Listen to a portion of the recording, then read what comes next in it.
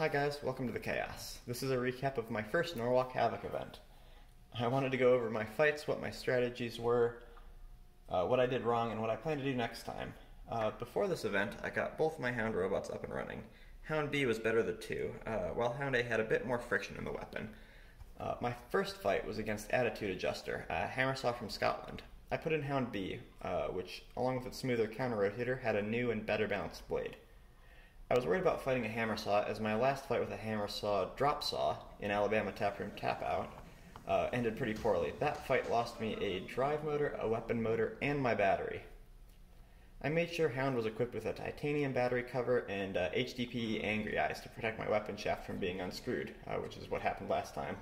Fight, robots, fight. All right, attitude adjuster. Look at the size of this thing. Wow, it's an articulated uh, saw, kind of like saw looser. Incredible. Or Scorpios or Sawblaze. Amazing. Yeah, interesting build design. Um, it's got that vertical and that articulating arm that it wants to pin its opponent and then time out those hits. Versus Hound, which is just, it looks like uh, kind of dual verts. Ooh, good. Fast, uh, fast self right there from Attitude Adjuster. Found itself on its head momentarily. Really what Attitude Adjuster wants to do here is push its opponent into the corner, fire up that weapon, and come down across the top. Oh no, and it Oh, looks no. like perhaps Attitude Adjuster's wedge is stuck under the rail. Here comes Brett. Nope, didn't need a save. Gonna keep that save in the back pocket for a little bit later. That's one of the Here we parts. go. Oh. Spinning up that weapon. Attitude adjuster showing that its hammer is very active. Some aggressive tapping there.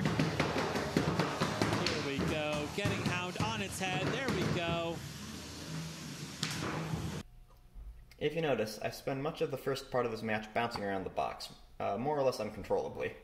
I found out that this was because my weapon speed was a little bit too high, and upon contact, uh, Hound flipped forward on its weapon, launching it into the air. I fixed this by decreasing my weapon power to 15% and focusing more on control rather than outright damage. Look at the zippiness Oh, here. of oh, I see a belt. Is that from the weapon on Attitude Adjuster? Or was that pulled out of Hound? No, Hound's weapon is still working. Yeah, I think that came off of attitude adjuster. It looks like the uh, the arm is still working. Perhaps the weapon on the end of the arm is not. Wow. Oh, ripping off one of those forks from the front of attitude adjuster. 70 seconds left in this match. Oh! Oh man, we almost caught a fork to the face.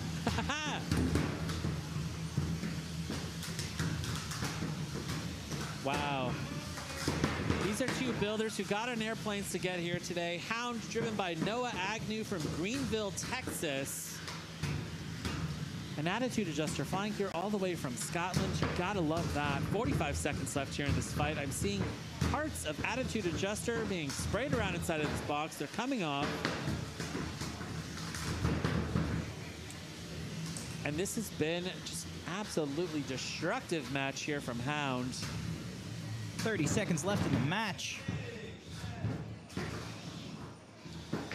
Oh, it looks like there's a note written on the bottom of Hound. I couldn't quite make it out. Yeah, let's see if Attitude Adjuster can tip them over one more time so we can read that note, Chris. Sorry. Sorry, I'm something. Uh, the sticker on the bottom says, Sorry about the floor. Uh, Hound uh, tends to kick itself up into the air because my self rider relies on my weapon hitting the floor and uh, getting me up back on my wheels. Here we go. 10 seconds left. They've escaped the countout. This one will go to the judges. Technically. I don't know if this is going to be much of a surprise here. I think this is very clearly a win for Hound. Oh, and just one last uh, message to send to the judge. Hound removes one of Attitude Adjuster's wheels. And that's your All right. match. Round of applause for these two builders. They traveled a very long distance to get here. I was really happy with this result. Hound was starting to do what I really designed it to do control the match while dishing out respectable hits to the enemy. My second fight was Hound versus Tothik. I decided to keep this uh, low speed and controlling strategy going into this ne- next match, uh, since this was a similar bot. I also put in Hound B again. Uh, The bot I was against was part of Team WPI, which is known for making pretty reliable robots. Uh, at this point, I decided to also add my one pound mini bot Potato, as I had some friends available to drive. Three, two, one. Fight, robots, fight. Now, Tothik is uh, what we call a hammer saw robot. They can come over the top with a uh, with an arm that has a disc mounted on it, and in doing that, they have the ability to spin up their disc and keep it out of the way until the time is right. Basically, they, they function as a wedge robot up until that uh, uh, up until they choose for that hammer saw to come into play Oh, okay.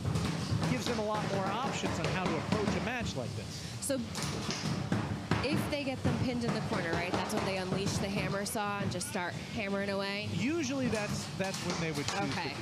So it's these three claws, I like to call them in front, that do the most of the work until. Until Ooh, now. till now, would be exactly the moment that Uh-oh. most robot Would roboteers would unleash it. choose.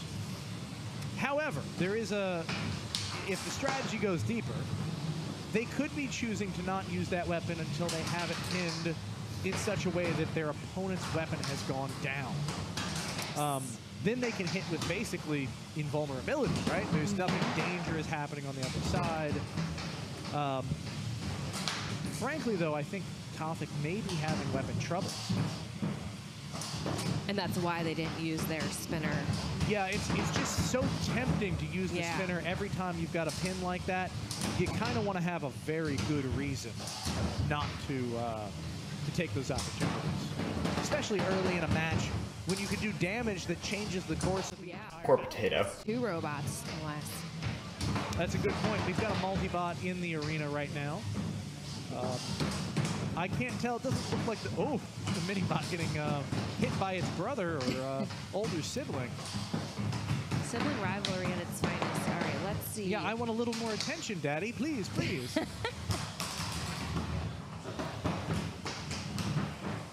right, we are getting to those final moments of the match. Those last 45 seconds. I wonder if we will see that weapon. Well, now, the other thing we should point out here is that the weapon, even in its hammer form, is technically a functional weapon. Mm-hmm. Uh, even if the blade is not spinning, just having that come down and whack down your on it, opponent, yeah. that that does count uh, with the, in the many judges' minds As in making a decision of, of how things are going to play out if it goes to the judges. Uh, which coming down under 20 seconds now, it probably will. Uh, both of these robots very tough built machines. And yeah, here we go. Last 10 Oh. seconds. This is going to go to the judges.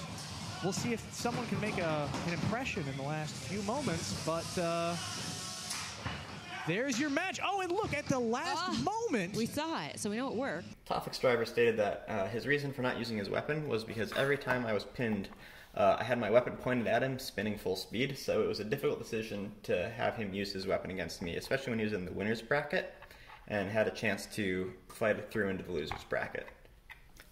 My next fight was against Meanie Panini, a large horizontal spinner, and a mini bot, which was driven by an awesome father daughter duo.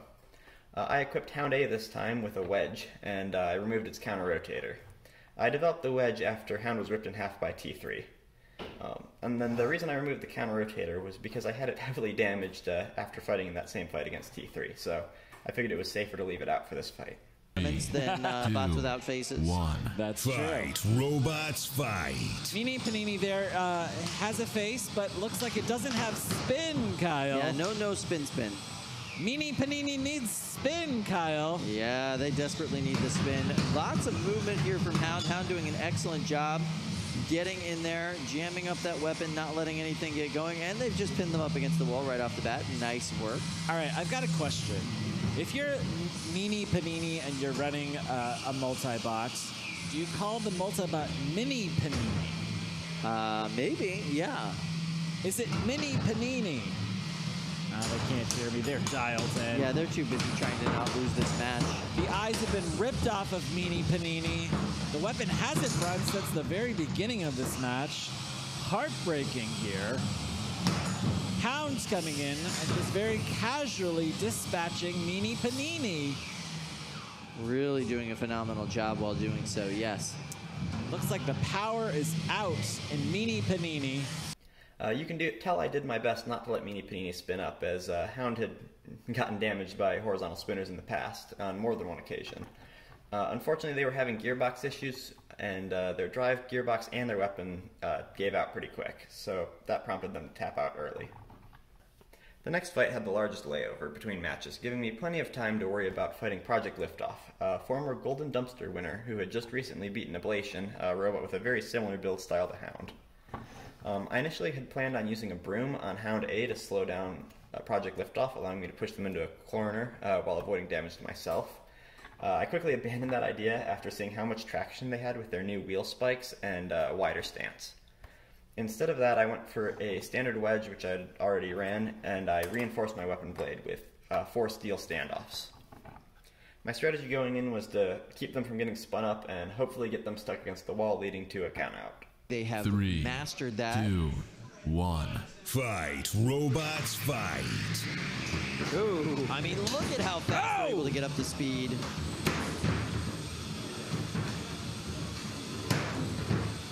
Living up to its name, though, staying on top of them, pinning them into the corner. Uh, yeah, Hound, uh, even when Project Liftoff was just fully spun up there, not afraid to just go right in and introduce the weapon. Yeah. There we go. We got a nice pin. Allowed to hold those pins for 10 seconds. When you've got a weapon as powerful as Project Liftoff's, you should take as much time as possible on those pins. I like the unicorn horn on the minibot there, by the way. Unicorns, of course. The uh, At this point, I turned to my minibot driver and I said, uh, You're taking this hit, right? deadly animals ever in existence. So that was the one unstick Project Liftoff gets in this match. They do not get any more. That is an unfortunate position for them to be in. They are a bot that doesn't have a self-righting mechanism. Their wheels are not very big. It is not hard for them to get stuck up on the uh, corners of the sides. Definitely something to be cautious about.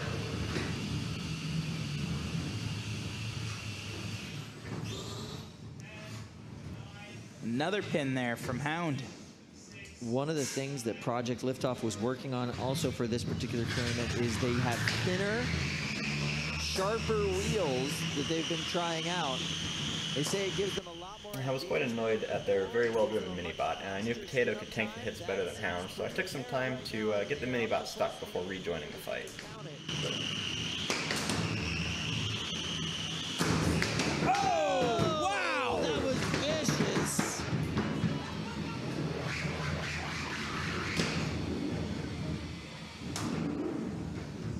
Project Liftoff is probably going to want to give itself some distance from the side rail.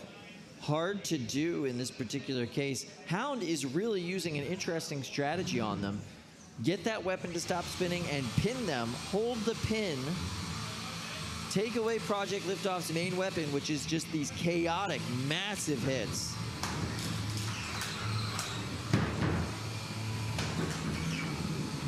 Project Liftoff getting where they want to be into the middle of the arena, and Hound says, no, go back up against the wall. Oh! Project Liftoff doing its signature pinball. Hound is doing such a phenomenal job controlling the pace of this fight so far. We have, Oh, wow. We have 10 seconds left. This will not be a knockout no matter what happens. But can Project Liftoff impress the judges enough in these last three seconds? And there we go. That is the end. That is the end. Power down those weapons. Make your way to the door. This one goes to the judges. This was by far the most adrenaline inducing fight I had at this event. Uh, I didn't expect to have a working robot at the end of this fight, but uh, Hound had taken almost no visible damage, and Potato somehow still had its horn. I don't think Potato has ever gone a full match without losing its horn, and it's uh, only held on with hot glue and falls off as soon as Potato runs into a wall. So the fact that this horn was still attached was very surprising. Uh, I only found out at my Oklahoma event the following weekend that the uh, weapon mount had actually split in half, and that was caused me to have to do a full rebuild uh, in the middle of the event. At this point, Hound had gone 4 0, and I had faced some of the robots I was most worried about fighting. I was feeling pretty good, so I put in Hound B again with its smooth weapon and flat front armor. I really wanted to try box rushing, as it's something I hadn't done often, and I really wanted to be able to do it for following horizontal spinners I was likely to fight. I wasn't too worried about Jack's weapon, and I thought Hound's weapon would spin faster and win any weapon to weapon interactions. Absolutely Three, crushing it. Best performance two, we've seen from them. One. Fight. Robots fight. Two extremely effective mini bots too. Both of them putting a lot of work in for their main bot competitors throughout this entire tournament today.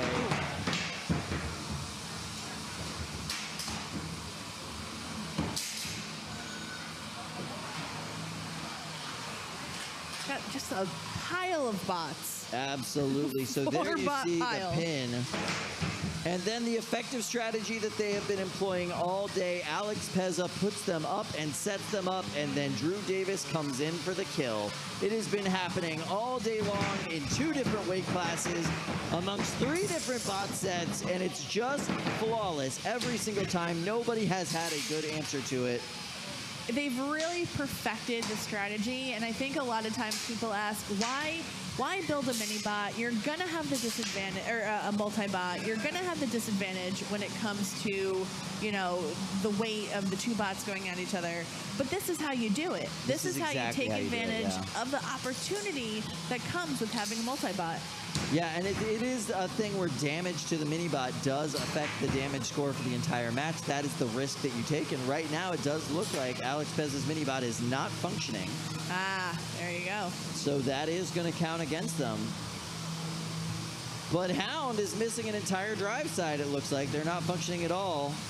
Oh, I see the plate on the mini bot. Look at it. It's it's uh it's out a little bit. it's uh, no longer fully connected. Yeah, so that's part of why they are not able to move, it looks like, as effectively as they were before.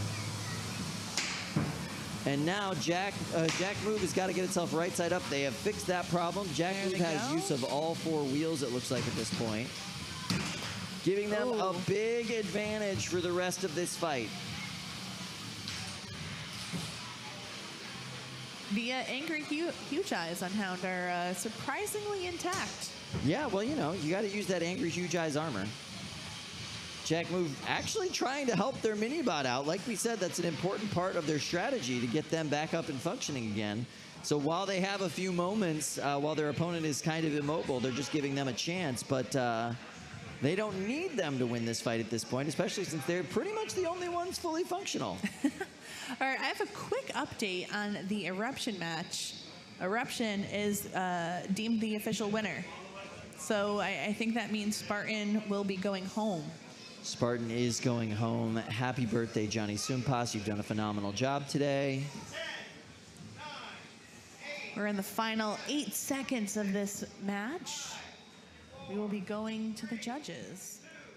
Yeah, neither bot looking too happy at the end of it, but uh, they're both mobile.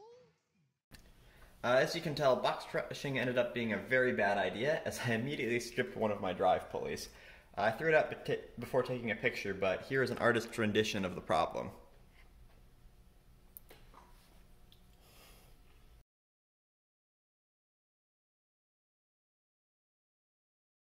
I didn't have a ton of time between these matches. With the help of my friends, I had just enough time to cover my entire robot with aluminum tape to keep my fraying TPU drivetrain from catching fire. Unfortunately, I taped over the bolt holes to the battery door, and I wasn't able to tell that I had forgotten the screws to my battery door. Three. Yeah, they've two, really done a phenomenal job all day. Fight. Robots discuss them here. fight.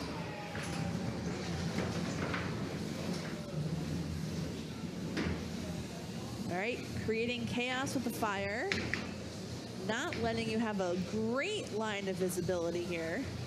Just a reminder, the winner of this match goes on to face Shred It Bro in the next elimination round.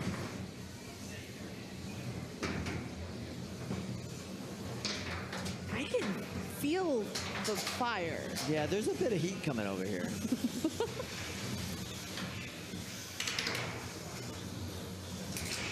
Hound trying to get some damage points in here, trying to figure out a way to get through that front guard on Mixtape.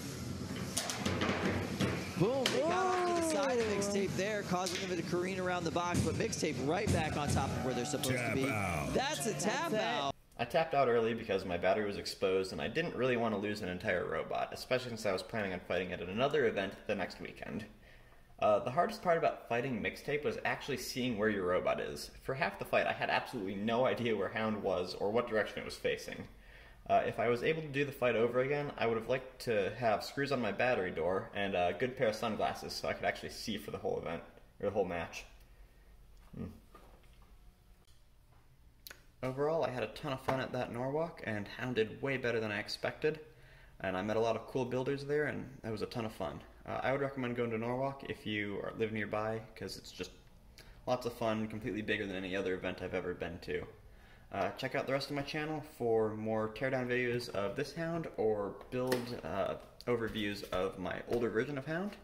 And uh, more videos will be coming soon for Potato and some of my other little one pound bots. Uh, so like and subscribe, I guess, for those, and I'll see you guys next time.